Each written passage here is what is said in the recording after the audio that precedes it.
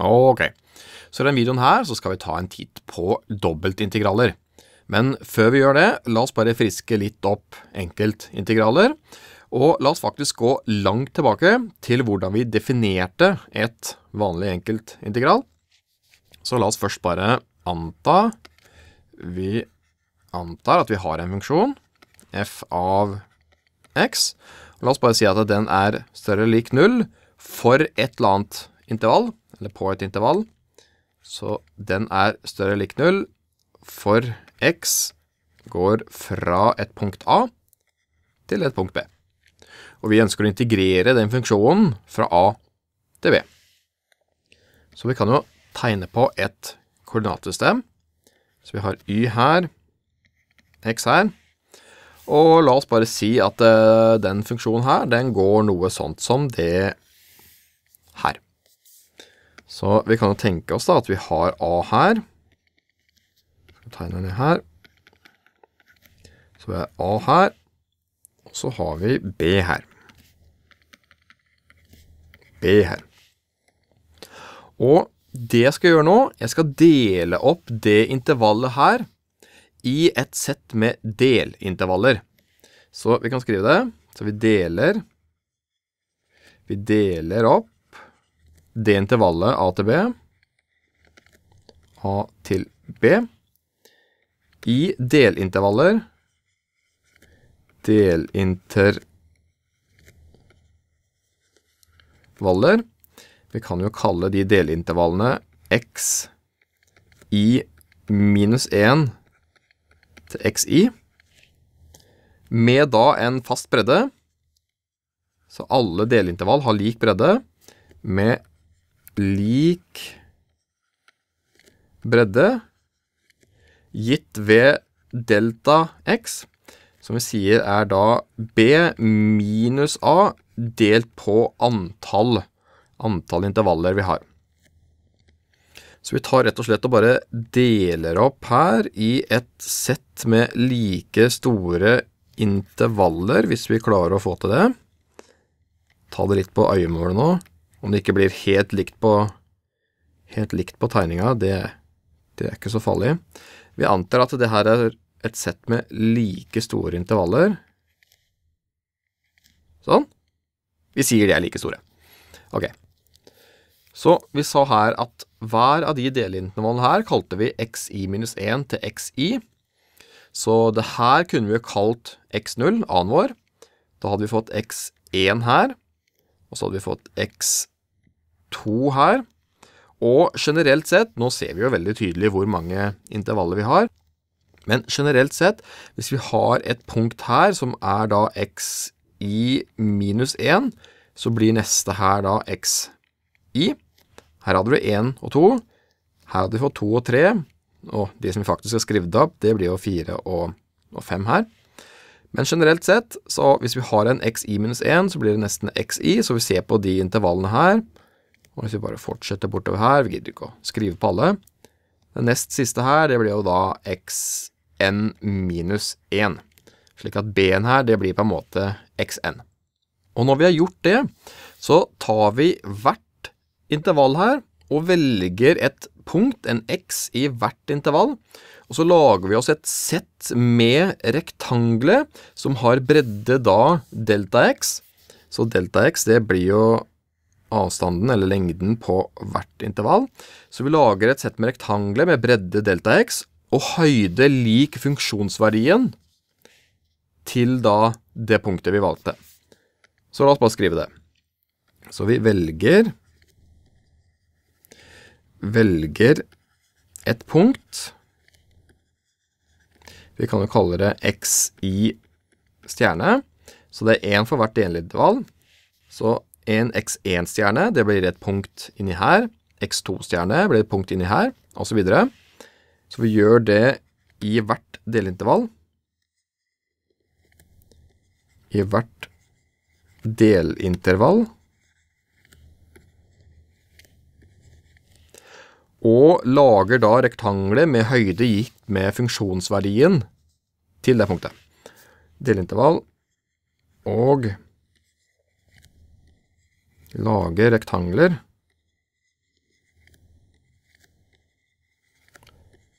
Rektangler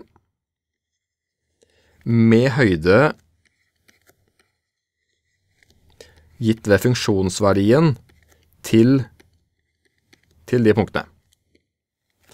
Ok, så hvis vi for eksempel valgte midten her Det kunne hende at vi hadde x1 stjerne her.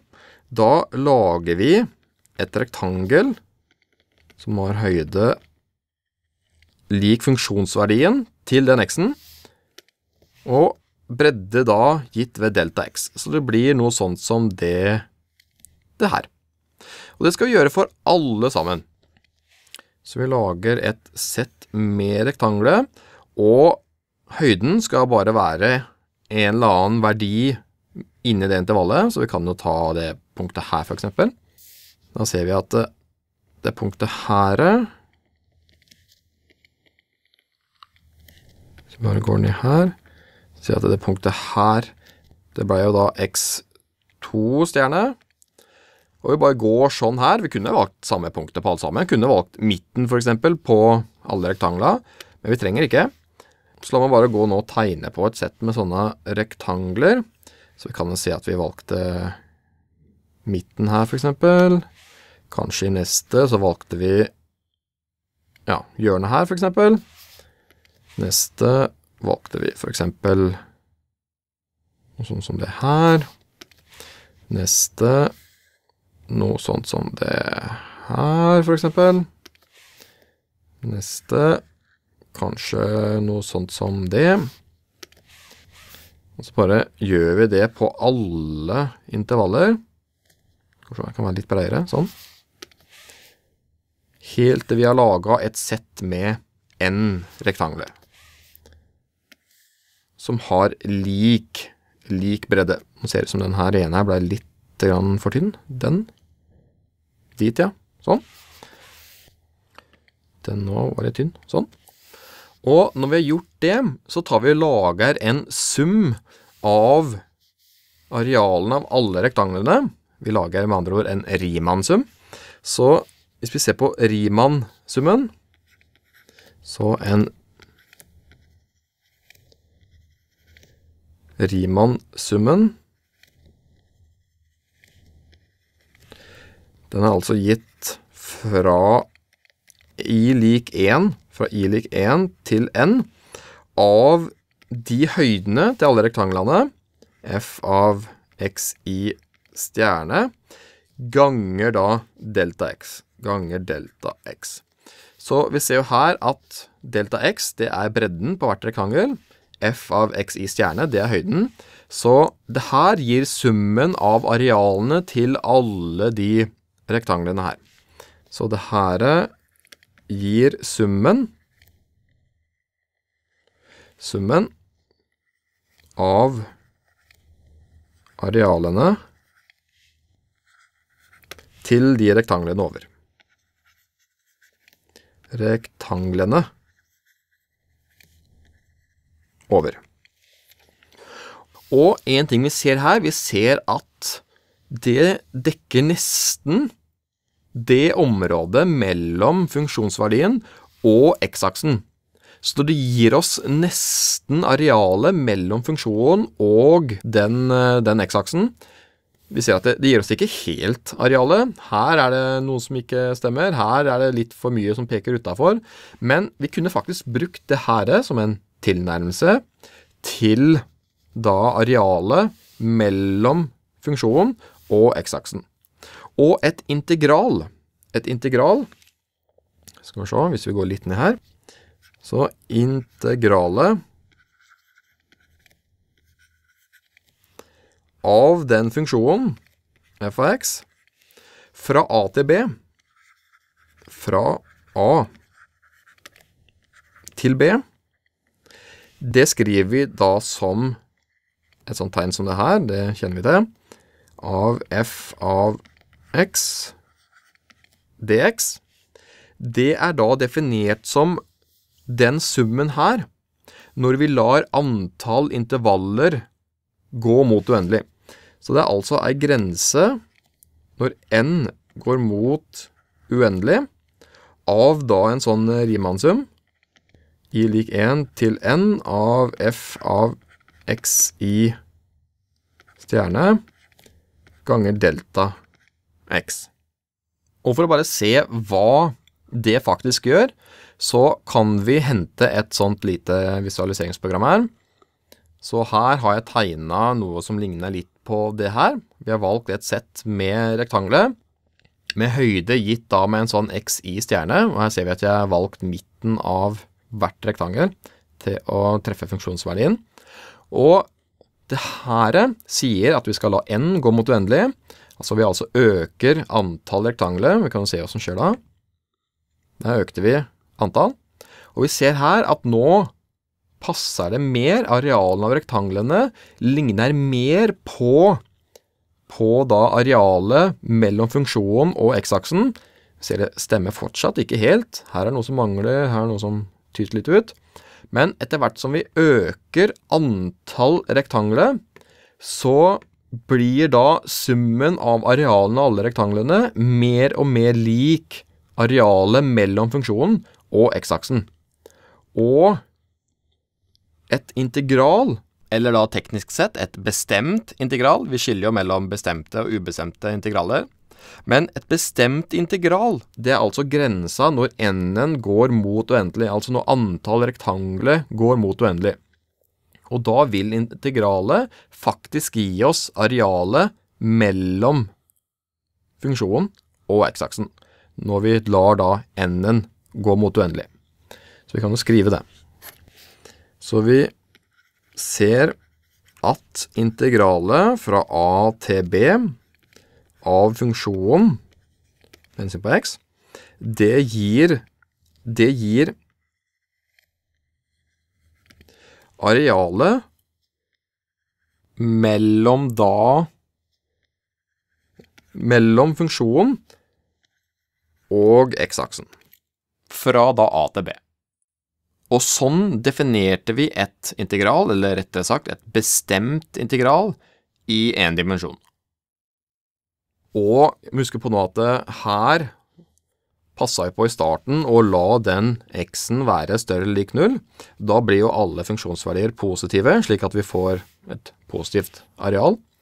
Den definisjonen her, den hadde også fungert selv om funksjonen hadde vært negativ, men da hadde ikke integralet gitt oss arealet, da måtte vi i så fall tatt absoluttverdien av funksjonen. Men uansett, det her var hvordan vi definerte et enkelt integral. La oss nå prøve å overføre den kunnskapen til tre dimensjoner, og se på et integral av en funksjon av to variable. Så la oss bare gå ned hit. Da har vi her et tredimensjonalt system. Så la oss bare anta, anta at vi har en funksjon, vi kan jo kalle den z, lik f av x og y. La oss bare anta at den er større lik 0 over et rektangel over r, der x-en går fra a til b, mens y-en går fra c til d. Så vi har på en måte, hvis vi går litt opp her, vi har x her og y her. Så vi f.eks. sier at vi har A her, B her, og f.eks. C her og D her, så får vi her et rektangel. Skal vi se om vi klarer å tegne det på.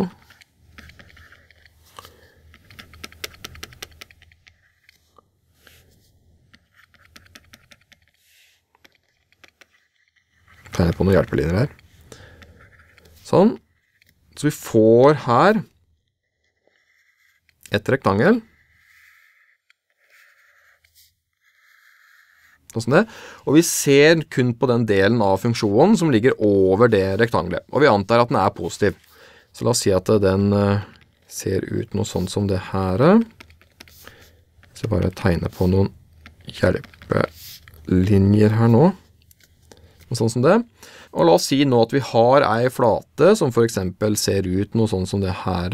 Så den går sånn, og så går den kanskje sånn. Så går den kanskje sånn, og kanskje noe sånn som det her. Så vi har ei flate som, som, ligger her. Og det vi skal gjøre nå, det er akkurat det samme som vi gjorde for intervallet i én dimensjon, men nå skal vi gjøre det for rektanglet. Så vi skal dele opp rektanglet i et sett med delerektangler. Så vi kan jo skrive det. Vi deler Vi deler opp R i delrektangler. Delrektangler. Vi kan kalle de R, I, J. Og det skal vi gjøre ved å dele opp hvert av de intervallene her, A til B og C til D, ved å dele opp Dele opp den intervallet A til B i da et sett på n delintervaller i n delintervaller Det var det vi gjorde i stad. Delintervaller. Delintervaller. Vi kan kalle hvert av de intervallene x i minus 1 til xi, akkurat som for én dimensjon. Og hver av de har en bredde hver av de har en bredde som vi kaller delta x, gitt da ved b minus a delt på n. Akkurat som for en dimensjon. Og så gjør vi det samme for intervallet c til d. Og intervallet c til d, og det deler vi opp i m delintervaller, så vi trenger ikke å dele de opp i like mange. M delintervaller. Delintervaller. Vi kan jo kalle de YJ minus 1. YJ. Og hver av de har bredde med en bredde Vi kaller den delta Y. Som da er gitt ved D minus C delt på M. Så vi kan jo tenke oss her at vi deler opp hele det rektangelet her i et sett med små delintervaller, sånn som det her. Eller hvis vi ser det ovenfra, så blir det litt lettere. Så hvis vi går bort hit Så her er det vi har gjort. Vi har delt opp intervallet A til B i et sett med delintervaller, akkurat som vi gjorde for én dimensjon. Og akkurat det samme for C til D. Deler opp i et sett med intervaller, akkurat som for en dimensjon, og da får vi her et sett med delrektangler. Så vi har delt opp hele det rektangelet her i et sett med delrektangler. Så vi har tatt det hele svære rektangelet, A til B, C til D, og delt det opp i N ganger M små rektangler. Og hver av de rektanglene har en bredde delta x og en høyde delta y. Og på lik linje med at vi da gikk og valgte et punkt i hvert delintervall for én dimensjon, så skal vi gjøre akkurat det samme her, men vi velger da et punkt inni hvert delrektangler, og så lager vi og så lager vi for hvert sånt delrektangle, så lager vi en, eh, en boks som da har en høyde gitt ved funksjonsverdien i det punktet. Så la oss si at det, i det første rektangelet her, så velger vi det punktet på hjørnet her. Og så lager vi en boks, skal vi se om vi klarer det, en boks med høyde gitt ved funksjonsverdien, og det blir jo på hjørnet her. Så vi lager en boks, skal vi se om vi klarer det, gitt ved den høyden, så det blir jo sånn som det her. Sånn som det, og så går det bort sånn. Det går jo opp her, da. Så går det opp her, og sånn som det, og noe sånt som det. Bort sånn. Så blir en boks sånn som det her. Så det blir litt det samme som eh, det vi hadde her oppe, men da for to dimensjoner, eller tre dimensjoner, da. Så la oss bare skrive det. La oss bare skrive hva vi gjør nå. Vi kan jo ta det her. Så for hvert intervall så velger vi et punkt. Så vi velger et punkt. Det blir jo da x, i, j stjerne, y i j stjerne, i hvert delrektangel, i hvert delrektangel,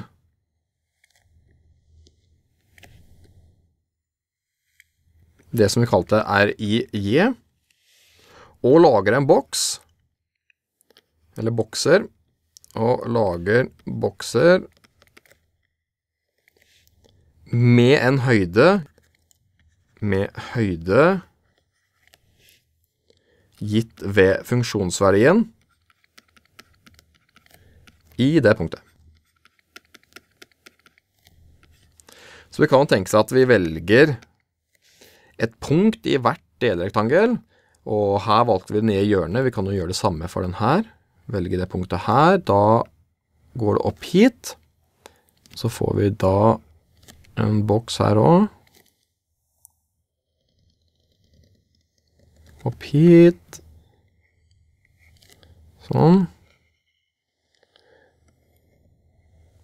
Noe sånn som det. Og her ser vi jo at deler av boksen den eh, tyter liksom litt utafor eh, funksjonen. Men hvis vi tar da og ganger den flata her, lengde ganger bredde, med høyda, så får vi jo da volumet av en sånn boks. Så vi kan sette opp ikke en Riemann-sum, men en dobbelt Riemann-sum. Så vi kan sette opp en dobbel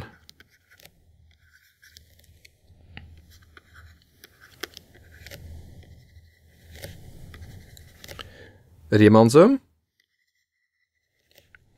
Der vi tar og summerer over alle rektangler. så siden siden x-en går fra 1 til n, og y-en fra 1 til m, så må vi summere over både n og, og m. Så vi summerer over alle i-er fra 1 til n, og over alle j-er fra 1 til m. Og så tar vi da funksjonsverdien, altså høyda til hver en boks, x i j stjerne, y i j stjerne, og så ganger vi med arealet av grunnflata av hver av de boksene. Så delta A, delta A, det blir jo her delta x ganger delta y, eller delta y ganger delta x, hvis vi vil det.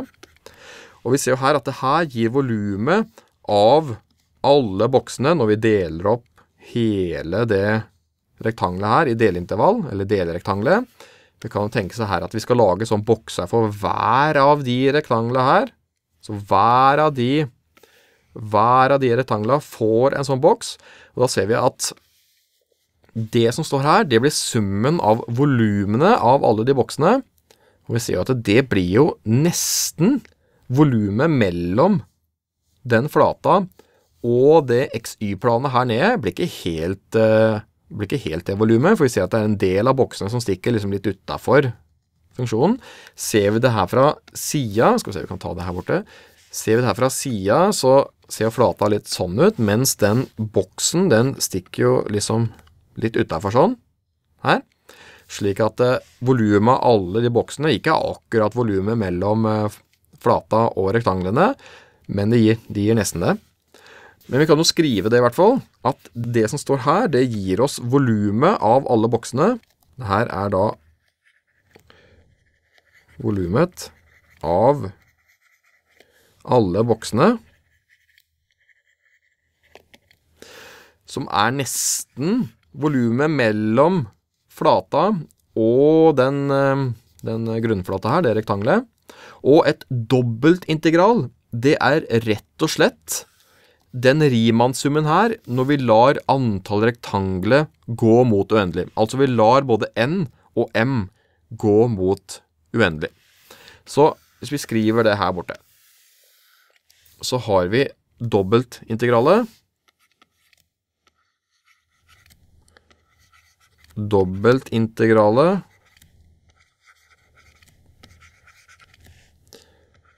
av den funksjonen f av x og y over rektangelet r over r. Vi skriver det som et sånt dobbeltintegral, så vi skriver med to integraltegn, og det her er over r, Så vi skal dobbeltintegrere den funksjonen, og vi dobbeltintegrerer med hensyn på et sånt delareal, DA. Så DA her, DA, det blir da DX ganger DY, eller DY DX, hvis vi vil det. Og det blir rett og slett den Riemann-summen når både M og N går mot uendelig.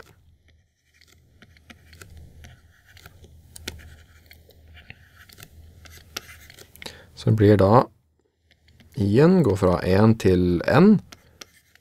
J-en går fra 1 til M. Av da den Riemann-summen Stjerne Nå ble det litt trangt der.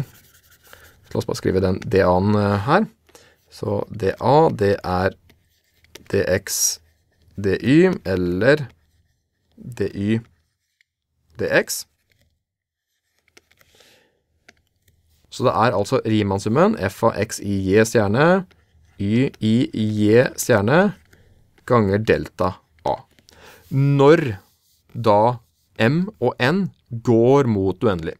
Og da får vi akkurat det samme som vi gjorde for en dimensjon. Når M og N går mot uendelig, så vil de boksene her mer og mer dekke området mellom funksjonen, eller mellom da den flate her, og den grunnflata, eller det rektangelet. Så dobbeltintegralet, det gir oss volumet mellom flata og XY-planet. Så la oss skrive det. Så dobbeltintegralet det gir oss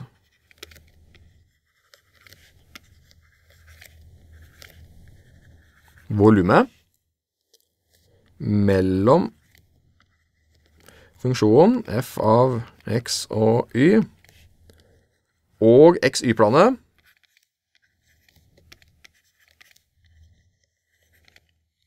over da rektangelet R. Og nå sa vi jo det at den fx-en måtte skulle være positiv, eller null. Det her blir også bli definisjonen av et dobbeltintegral, selv om f av x-en ikke er lik uh, null. Men da vil ikke det tallet vi får, gi oss volumet. Da måtte vi i så fall tatt absoluttverdien av uh, f-en. Og grunnen til det er jo samme som for en dimensjon. Hvis den funksjonsverdien er negativ, så får vi en negativ høyde, slik at det blir på en måte et negativt volum. Det gir jo ikke helt mening. Men hadde vi tatt absoluttverdien, så, så hadde det fortsatt gitt volumet. Men uansett om f av x og y er positiv eller negativ, så definerer vi, så definerer vi et dobbeltintegral ved en sånn Riemann-sum når m og n, altså antall rektangler, går mot uendelig. Men hvordan man utfører et sånt dobbeltintegral i praksis, det er jo kanskje greit å vite da, det tar vi i en, en annen video.